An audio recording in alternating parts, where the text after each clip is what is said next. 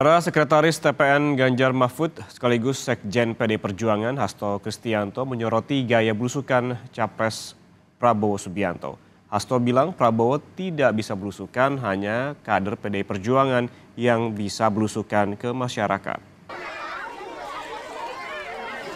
Pernyataan Hasto ini merespons pertanyaan soal lokasi kampanye Ganjar yang disebut diikuti oleh kunjungan kerja Presiden Joko Widodo.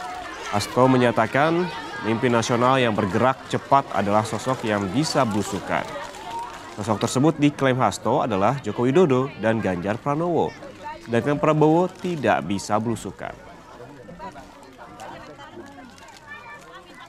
Kemudian Pak Jokowi itu terkesan di belakang Pak Ganjar, Pak Ganjar datang ke Jawa Tengah, lalu Pak Jokowi datang ke Jawa Tengah. Ya sebagaimana kata Pak Ganjar itu bagus.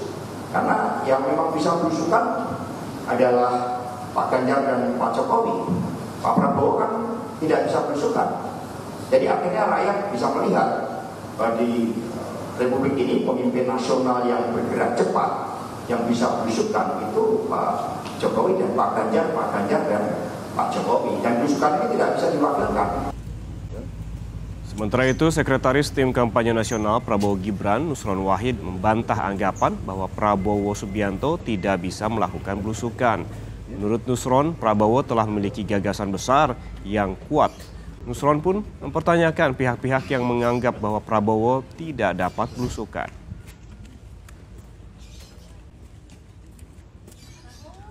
Kalau dikatakan yang jelas, Pak Prabowo itu mempunyai gagasan besar ya kan yang tidak dimiliki oleh kandidat-kandidat yang lain.